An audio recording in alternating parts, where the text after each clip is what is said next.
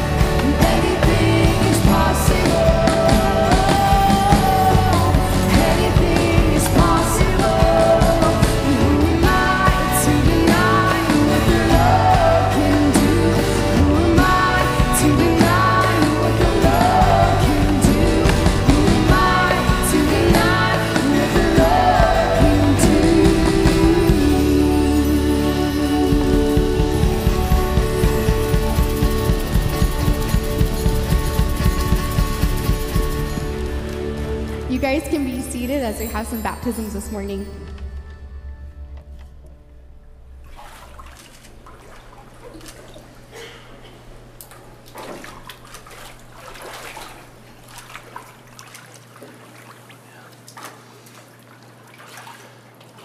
Hey everyone, hello. I'm Jeff, I'm the student pastor here, and I have a great privilege this morning to baptize a whole bunch of people. And um, this right here, I would like to introduce to you is Jolisa. So hello, say hello to Jolisa here. um, for those of you that serve in student ministry, you know who Jolisa is. Uh, any eighth grade girls out there, eighth grade student girls, I think they may have been the first service, but.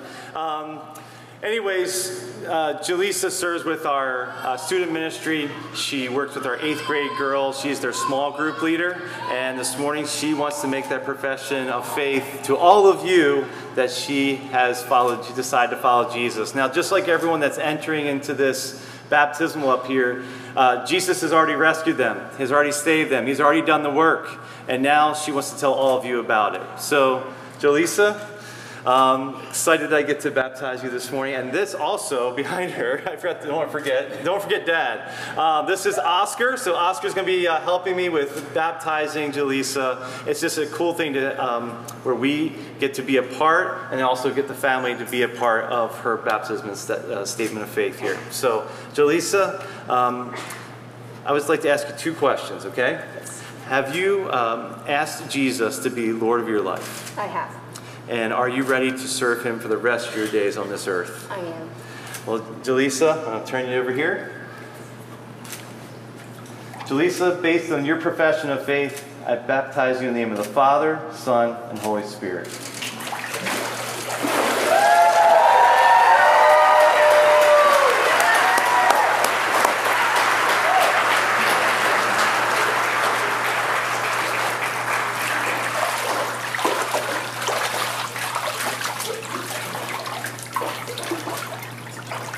This is Stephanie. I just got to meet Stephanie just a few moments ago.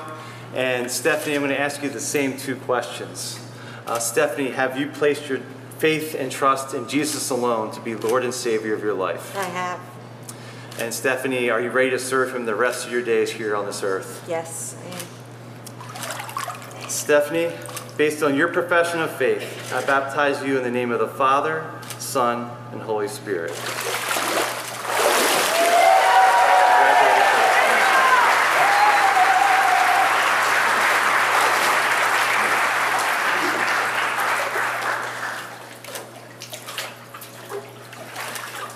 This is Jocelyn. Everyone say hello, Jocelyn. just met Jocelyn just a few moments ago, and uh, I'm excited to be able to baptize her. Jocelyn, I'm going to ask you the same questions. Uh, Jocelyn, have you placed your faith and trust in Jesus alone to be the Savior of your life? Yes. And Jocelyn, are you ready to serve Him the rest of your days while here on this earth? Yes. Okay. Awesome. Jocelyn, based on your profession of faith, I baptize you in the name of the Father, the Son, and the Holy Spirit.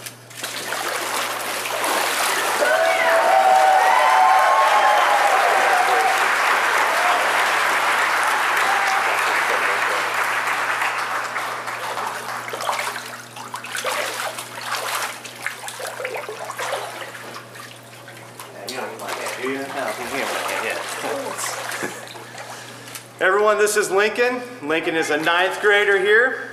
And uh, Lincoln, I'm going to ask you the same questions, okay? You ready? All right.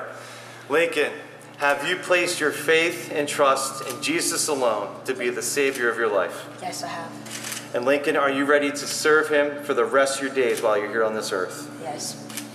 All right, Lincoln. Based on your profession of faith, I baptize you in the name of the Father, the Son, and the Holy Spirit.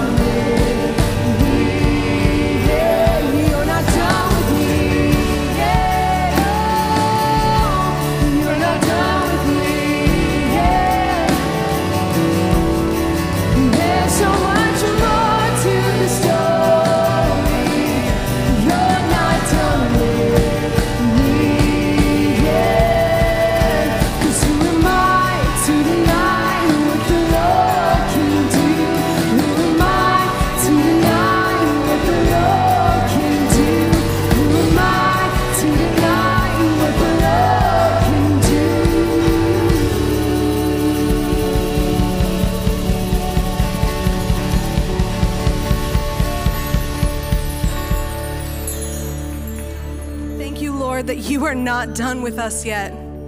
You're not done with me yet. You're not done with our church yet.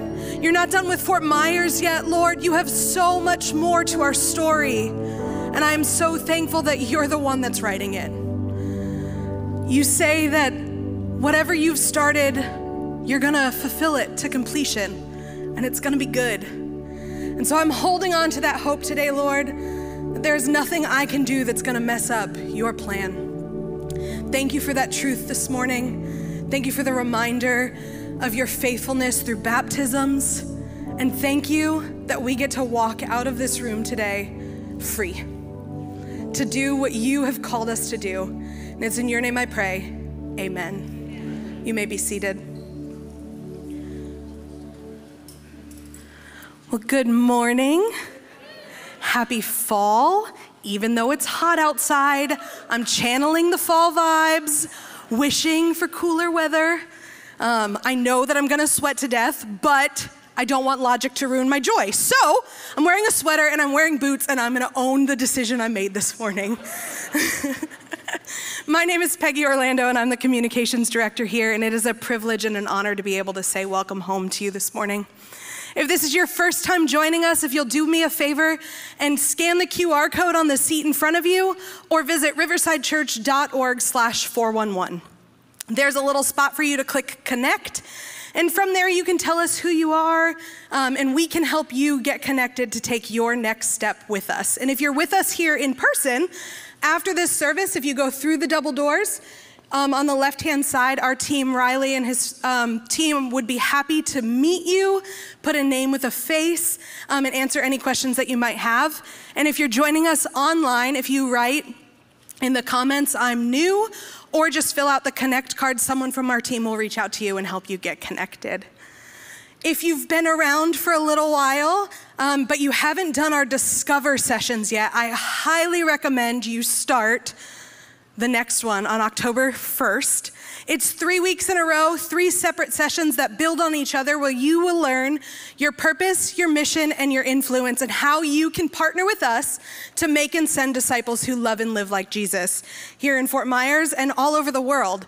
So if you haven't done it yet, it's an interactive course where you'll get to meet people um, who are along the same journey as you, um, and then find out how you can use your spiritual giftings to join us as we make and send disciples. You also may have heard of this thing called Pathway. And I know a lot of people are like, oh, Discover Pathway Base Camp, there's so many things. Pathway is our strategic initiative to equip you to be an intentional disciple. And so it's brand new. We are starting it on October 4th, and there are only 18 seats left.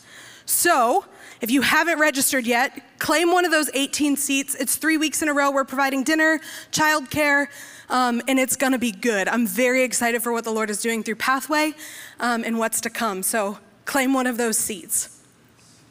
I have a lot of things. Also, next week is our Edgewood co- food collection. So, if you have not um, picked up a little shopping list, you can do that on the way out.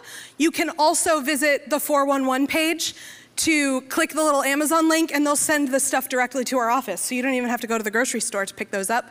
Um, but together, we are able to feed more than 100 kids on the weekends when they don't get a hot meal except for at school. So please do some shopping this week.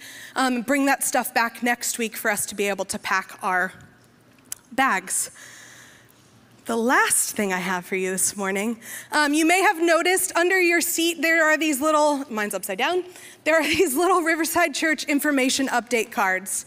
So, because we believe that the Lord is doing good things, we are very excited for the season that we're about to enter, but we want to make sure we have the correct information for you. So, if you will do me a favor and either fill this out right now, there's it's under your seat with a pen, or all of you technically savvy people, there's a QR code. You can scan that from your seat right now and fill out the form online. Um, if you do a paper one, just drop it off at next steps on your way out the door. Just so you know, we are not going to randomly show up at your house knocking on your door or spam you with email or text messages. This is just a way for us to communicate what's happening here at Riverside. And in the event of another hurricane, we are on the one year anniversary of Hurricane Ian. What our team did with your information is we made phone calls to every single person in our database. There was a team um, of ladies that just came in every day and worked through that list. And that was the way that we were able to find out what needs you had, and we were able to send teams out to you that much faster. So, this updated information is super important for us to have because we want to be able to care for you well. We believe as a staff that that's our job. Um, that's what we were we're here for is to care for you well. And so this is the the really the only way that we can do that is if we have the updated information. Thank you. That is all I have for you this morning. I'm done talking. I've used all my words for the day, but Steve is here with a word from 1 Corinthians.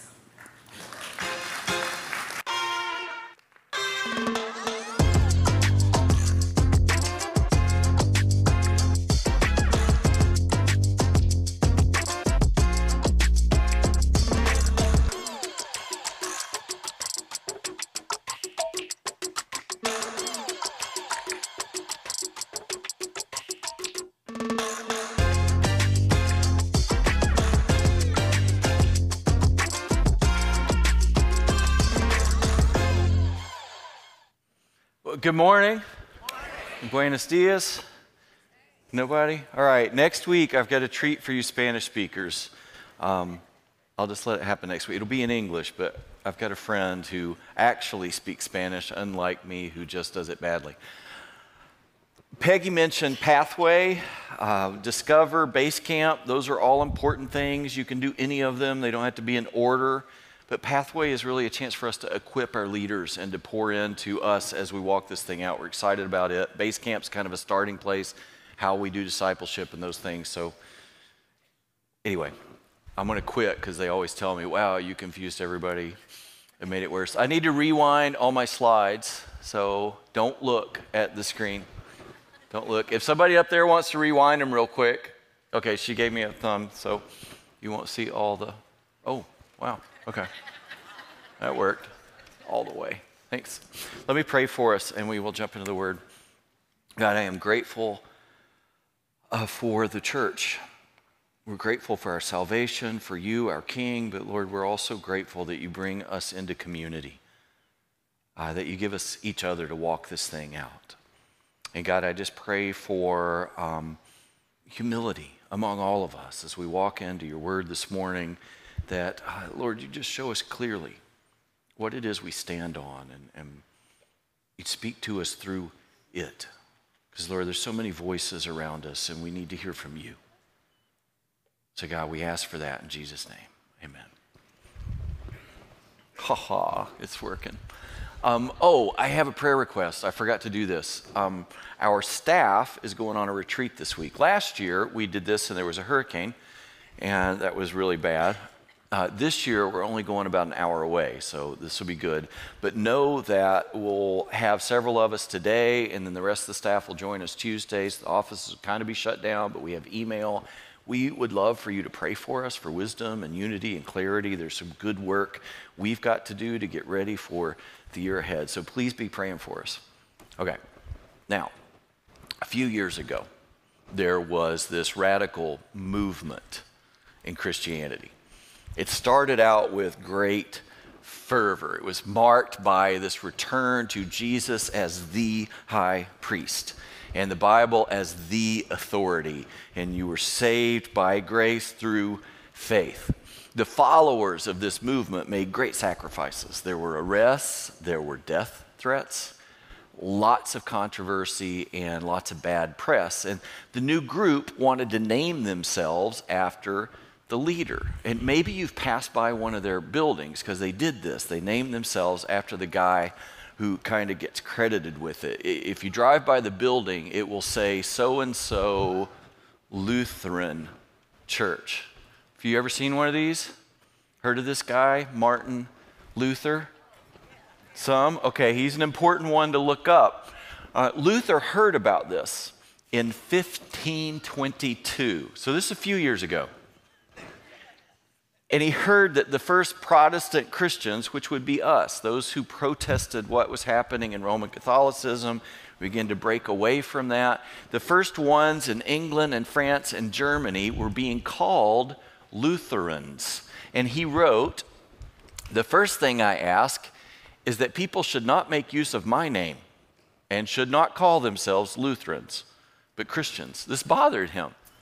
That he's like, we do this for Jesus, and you're sticking my name on it. He continues, What's Luther? The teaching is not mine, nor was I crucified for anyone.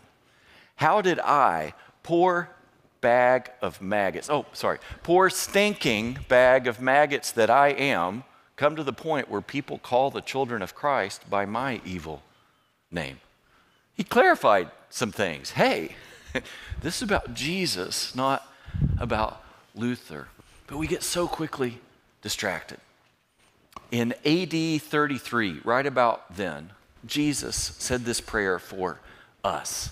He said, I do not ask for these only, his followers, but also for those who will believe in me through their word, so us in the future, that they may all be one. Just as you, Father, are in me and I am in you, that they also may be in us, so that the world may believe that you have sent me. One, that his followers would be united so that the world may believe. That was about 33 AD. By AD 55 or 56, how many years is that? All right, the accountants are in the first service. You all need to know that. It's been 22, 23 years. Uh, 22 or 23 years, the Apostle Paul writes to the church in Corinth I appeal to you, brothers, by the name of our Lord Jesus Christ, that all of you agree and that there be no divisions among you, but that you be united in the same mind and in the same judgment. For it has been reported to me by Chloe's people that there is quarreling among you, my brothers. What I mean is that each one of you says, I follow Paul or I follow Apollos, or I follow Cephas, or I follow Christ. It took them less than 22 years to go from Jesus' prayer for unity to factions so significant that Paul has to address it as the first issue in his letter. We're not good at unity. And, and, these weren't denominations. These weren't big theological camps where, oh, there's a huge difference in doctrine. These were Paul, Apollos, Cephas or Cephas, Peter is the other name we use for him, and Christ. Those are the camps that they were dividing into. Those four people all taught the same thing. They taught the same gospel. Peter was taught it by Jesus. Paul was taught by Jesus and by Barnabas, and Apollos was taught by Priscilla and Aquila, who was taught by Paul. They were all teaching the same thing. But that church had given weight to the particular teacher, like people saying, Well, I got baptized at Riverside. Oh, well, I got baptized by Peter Darlene, or I got baptized in the Jordan River. Like, that's messed up.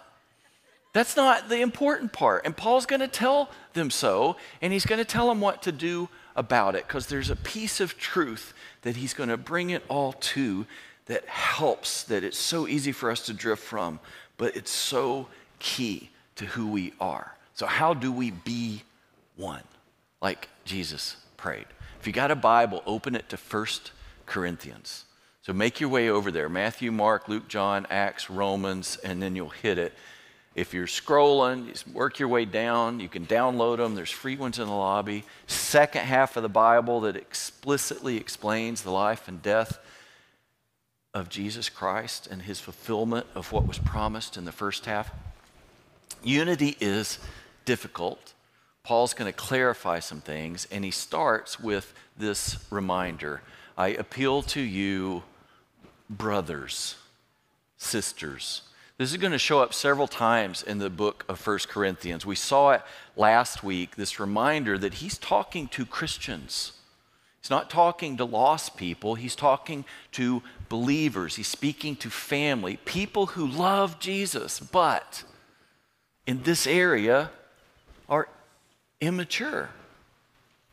Do you know you can do that? You can love Jesus, be a follower of Jesus, and still make a bad decision. Right? Do you know this? Christians can be immature, or you can act in an immature way. You can act immaturely. So look at his appeal to brothers. I appeal to you by the name of our Lord Jesus Christ that all of you agree, that there be no divisions among you, but that you be united in the same mind and the same judgment. He's not addressing some area of legitimate disagreement, like they're divided because they're arguing over whether Jesus really is the Messiah or the Son of God or some big thing. He's not even addressing areas where uh, they're trying to figure out life. Like, do we shop at Roman stores? Can we vote in Roman elections? How do we do this? Is the things where it would be okay to wrestle through and maybe not all agree. The disagreements they were having were foolish and dangerous, the kind of division that can make them ineffective as a church. I follow Paul, I follow Apollos, I follow Cephas, I follow Christ. Knowing what we know, and you may not know much about those four, that's okay. But knowing what we know, what do you think the differences were? What were they picking? Into? Because we, we're not sure. These four people all preach the same gospel, especially Jesus. How do they divide up into camps? Let's go. What were the differences? Maybe because Paul started with Gentiles and he would begin that way over time, or Peter starts with Jewish people, or Apollos would start with logic. That was part of the way he taught. Jesus starts with all of it. I, I don't even know what divisions they would have found. It's silly. None of those are teaching false doctrines. None of those were corrupt. None of those are funneling money to their mistresses. It's like, oh, I follow this one because you know that Paul. These are all people preaching the gospel. So it was just hero worship. And it was ridiculous. Was it okay to learn from Apollos? Yeah. Should they learn from Peter? Learn from Paul? Yes, they should be learning from all three. All three of those are leaders in the church established by Christ. They all had different strengths, and there were areas that they would relate to a different set of people. They should learn from all. This was immature like a fan fight in grade school. Did you ever see this happen when I was little? Kids would get into arguments over football players. This will date me, but someone would say Terry Bradshaw couldn't escape a vacuum cleaner. Or, and, and that would be followed up with my grandmother could tackle Roger Staubach. And then an actual fight would happen on the playground over that. You can update that with current and maybe even polarizing world class athletes like Tom Brady or LeBron James or Aaron Rodriguez or Messi or Ronaldo.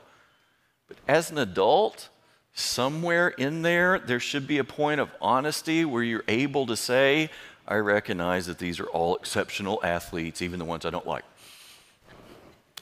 And not get in a schoolyard fight that divides a church. So Paul asks three very specific questions to clarify the issue. First, he says, Is Christ divided? Is he? Like, is there more than one Jesus? You can answer this out loud if you want to. Okay. No. Is there some other gospel? No. And, and then he says, Was Paul crucified for you? No. Who is it who died for us? Christ, Jesus. Who exactly do we worship? Jesus. And then he says, Or were you baptized in the name of Paul? No. You're baptized in the name of Christ. Where is your allegiance? Is it Jesus, or have you shifted it to some teacher, a servant of Jesus? It's like those people in Acts that would start to worship the angels, and the angels like, No, no, no, no. That's not how this works. We worship Jesus. So be careful. Sometimes theologians and thinkers help us wrestle with really hard questions, and they may communicate to you in a way it's like, I understand this person so well when they teach. People like Luther or Calvin, there's so many of these, but those people are not Jesus. They're servants, and they're pointing at Him. Uh, only Jesus is Messiah, King. He wears the crown. We follow Jesus. Others may help us do that, and the ones who are sincere, they'll all point to Him. And we learn from them and use that. You, you run into this sometimes. You, you hear somebody teach, and you think, oh, I've got a friend, and they speak that language. This would be helpful. He's talking science, or he's talking Spanish, or whatever. This is a teacher I could connect them to, but they point to Jesus. We follow Him. Jesus is going to use Paul and Peter to write scripture, scripture that points to Jesus, that helps us understand.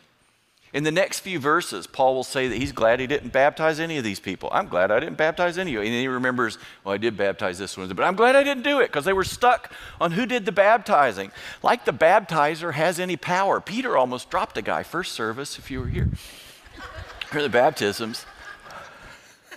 A baptizer's nothing. It's an incredible honor, but it's just an honor because we get to do that in His name. We're just a person. It's the name that we're baptized into. That's everything. It's Jesus. For Christ did not send me to baptize, but to preach the gospel. Baptism is important, but it's not the point. It's a response to the gospel. The gospel is the point.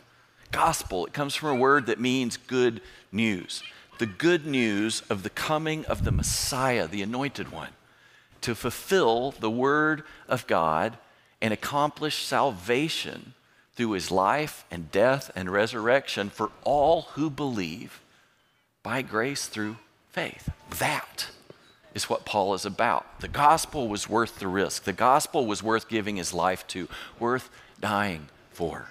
The gospel is the point and not with words of eloquent wisdom, lest the cross of Christ be emptied of its power. Eloquence can be a great thing. We like it when people use colorful language, when they're skilled with words. And you watch this in your neighborhoods where some guy outside your door clarifies a crisis in your mind and appeases your aversion and draws you toward a decision to maybe buy those solar panels. Eloquence can be a good thing, it can be kind of risky. And sometimes clever words talk you into things that you regret. Paul ain't got time for that. The gospel is not a clever sales call. Nothing against you guys that do sales, but that's what no, it's not what the gospel is. You don't get there by a clever pitch. The marketing pitch of the crucifixion of Jesus is not eloquent. If you come to Christ through eloquent words, you may have misunderstood the core of the whole message because the gospel is an offense. It's not eloquent. The power is not in clever words. For the word of the cross is folly, foolishness to those who are perishing, but to us who are being saved, it is the power of God.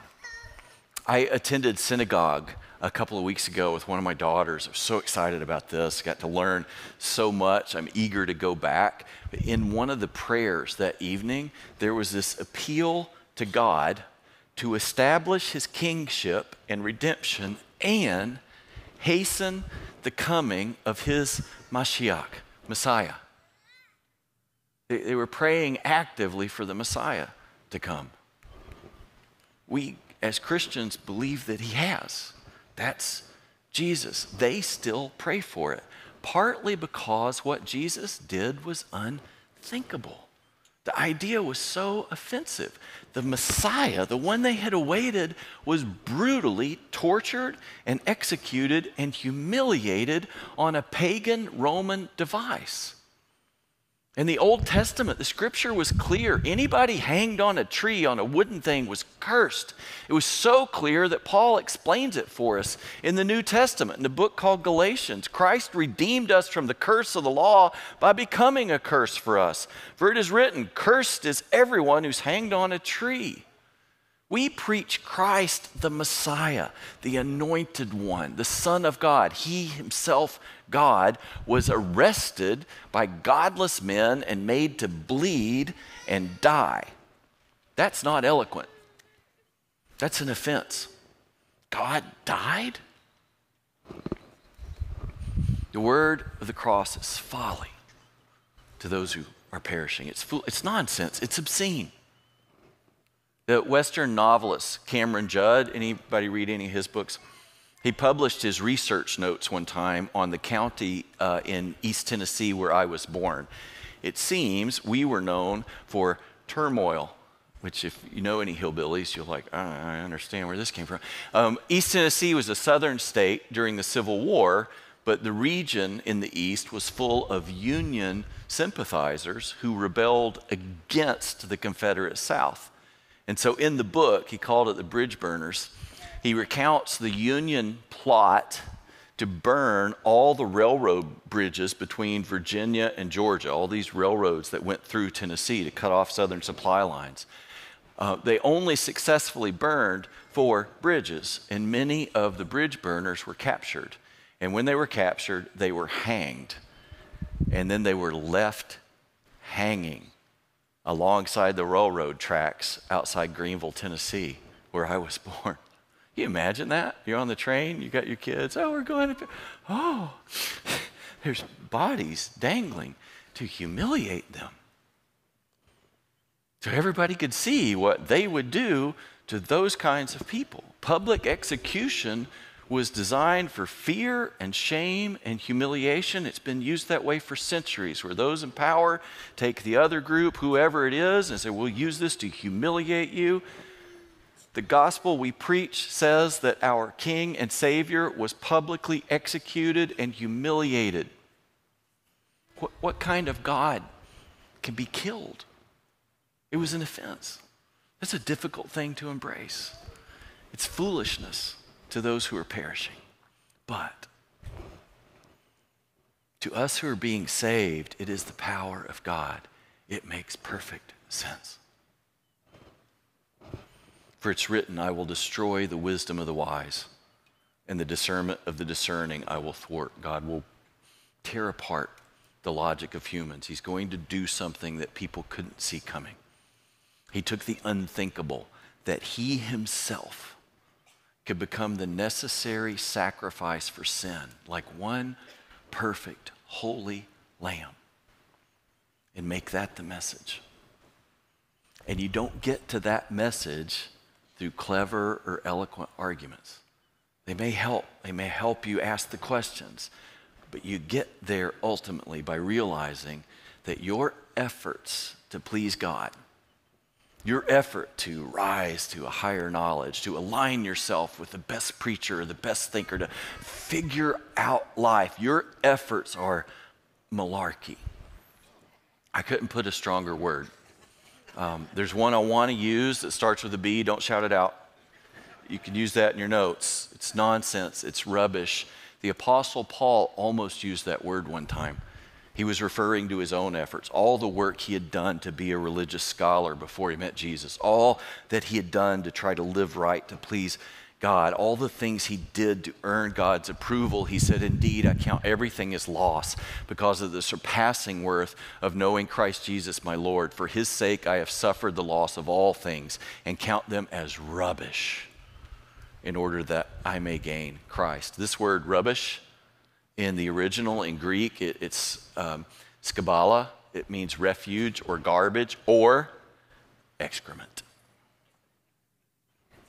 all the things I did, all my own effort to fix me, to please God, it was bogus.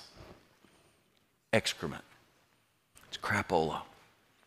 His work was rubbish. His hope was to be found in him, in Jesus, not having a righteousness of my own that comes from the law. He couldn't do it. But that which comes through faith in Christ, the righteousness from God that depends on faith, he needed God to give him his. His own work was rubbish. I need what God and only God can do. The offense of the cross is that your best effort is rubbish. You cannot save yourself. You cannot earn it. You can't repay it. You can't deserve it. Your only hope is in the Messiah who came and was sacrificed on a Roman torture device to make payment for sin through his blood. That turns the world on its head.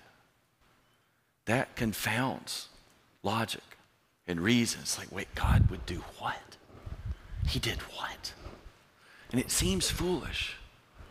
But for those of us who are being saved, we now understand. The cross pulls down pride, it takes that out of the equation.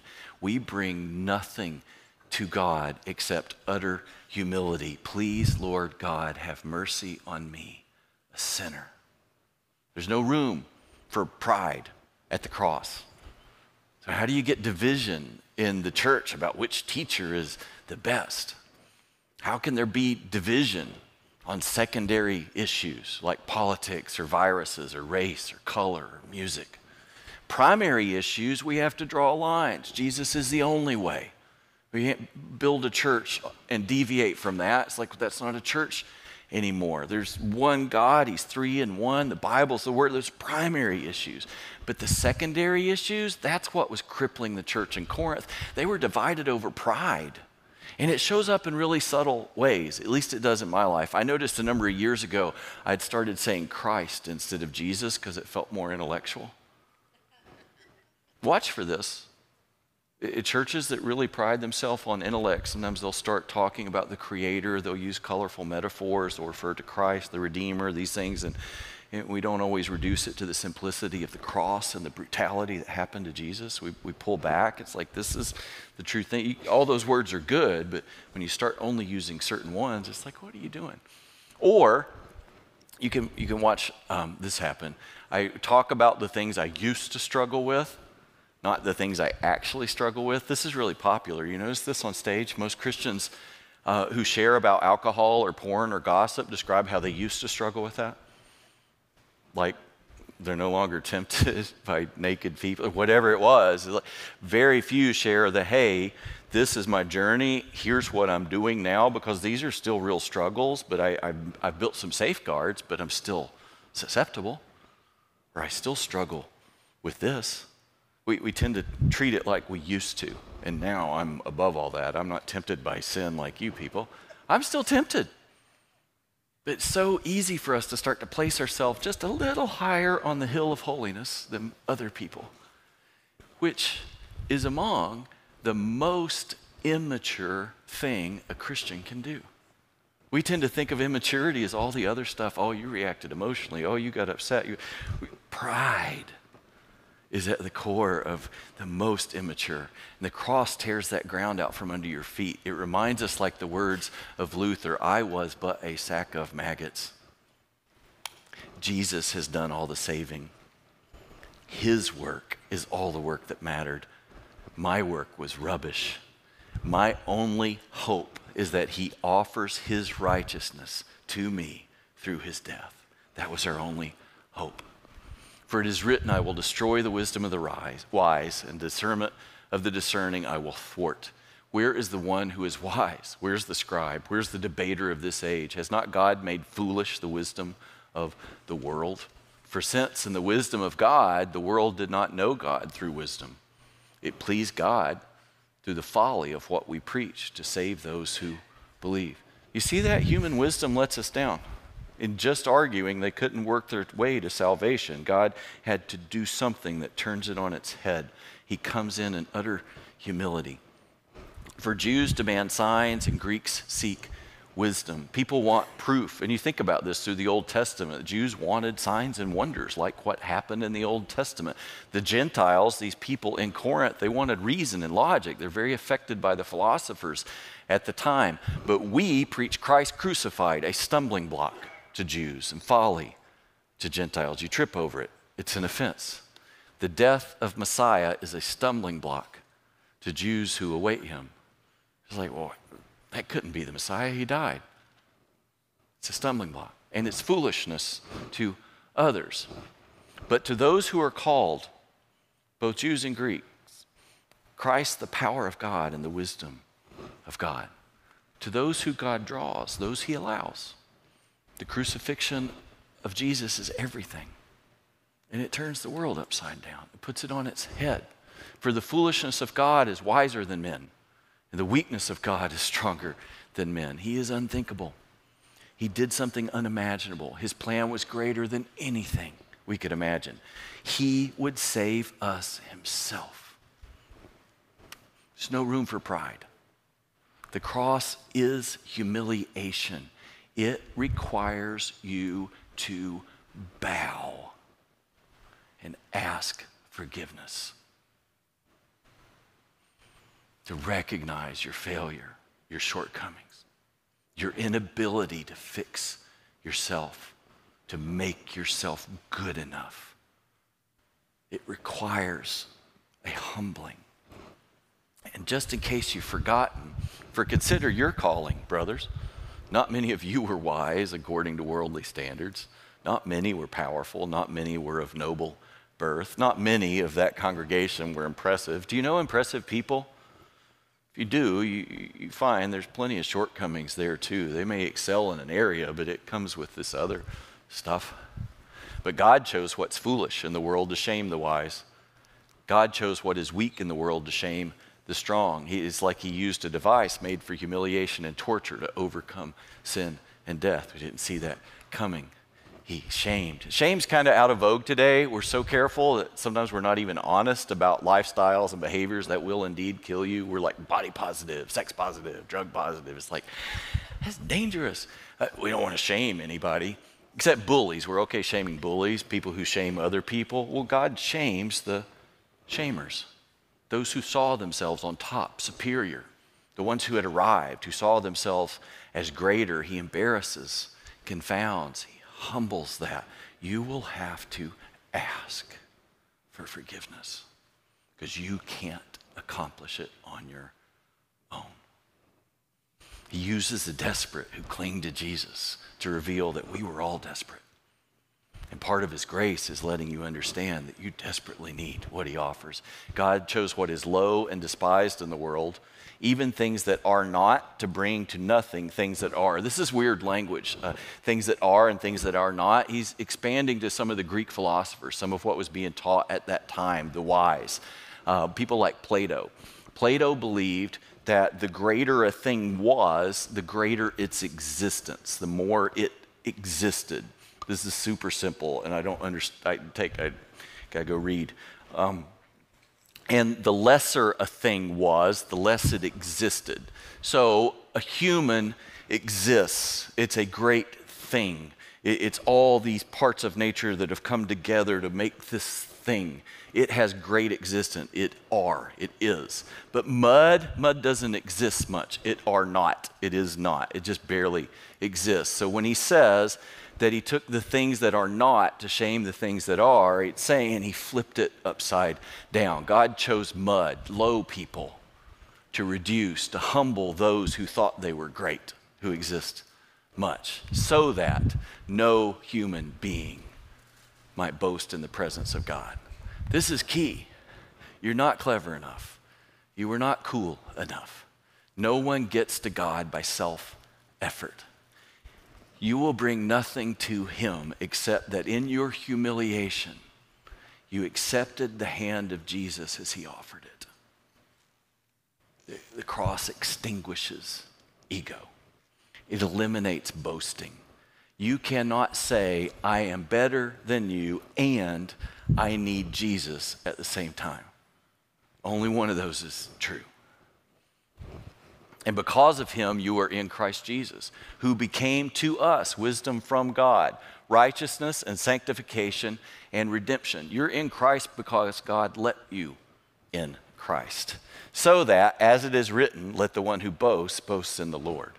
If you want something to boast about, it's not Paul or Apollos or Cephas or Cephas.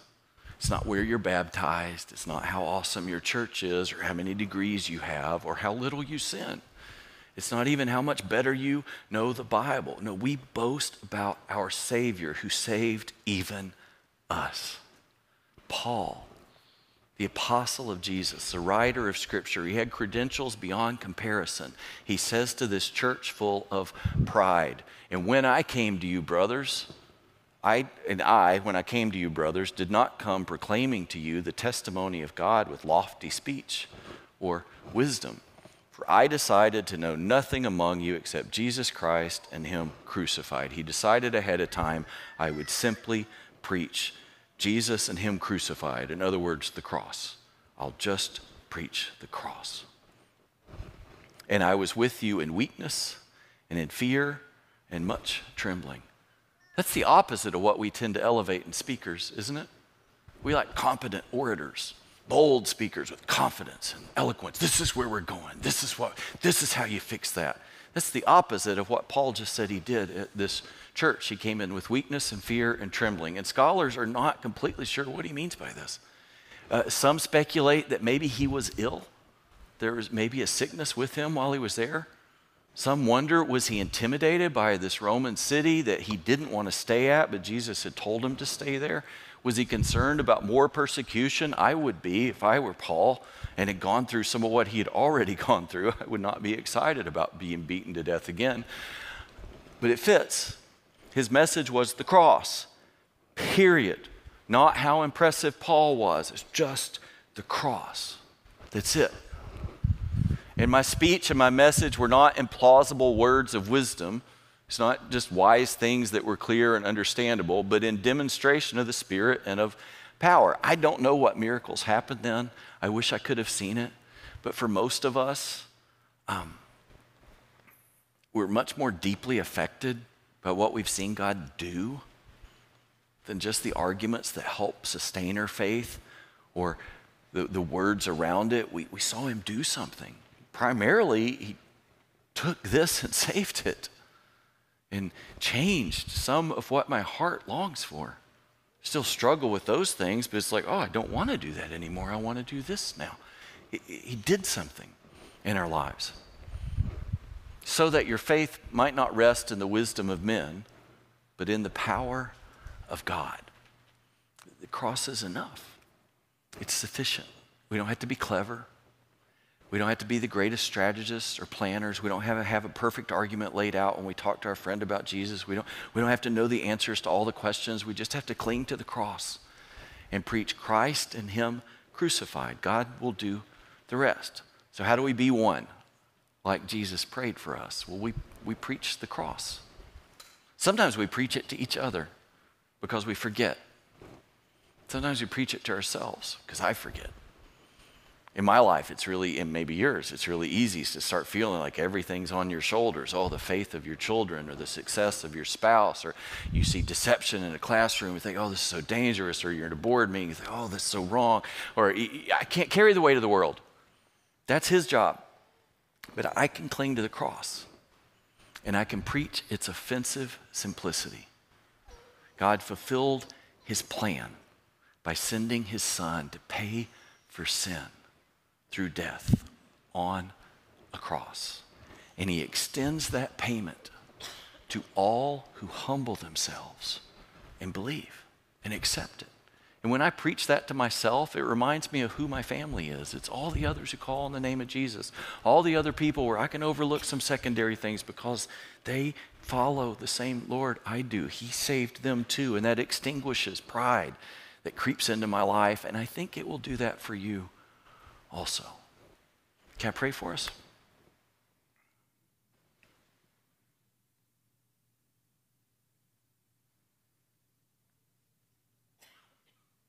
Father, um, I'm grateful for the simplicity of the answer that Paul's gives.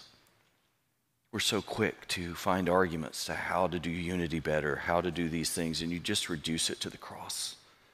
This thing that, that takes pride away from us. There's no room for pride